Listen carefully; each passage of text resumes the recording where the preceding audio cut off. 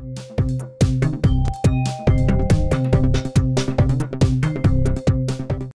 sesiones, personal de participación ciudadana de la Fiscalía General del Estado instruyó a casi 150 alumnos del Colegio Benjamin Franklin sobre delitos cometidos por jóvenes y delitos cibernéticos. Con el objetivo de fortalecer la estrategia en la prevención del delito, expuso a los alumnos sobre la ley de adolescentes, en un intento por ejemplificar las consecuencias de cometer un hecho ilícito aún siendo menor de edad, con base en la legislación mexicana. Pero también se habló de que son los delitos cibernéticos y cómo evitar ser víctima potencial a través de redes sociales y el uso indebido del Internet.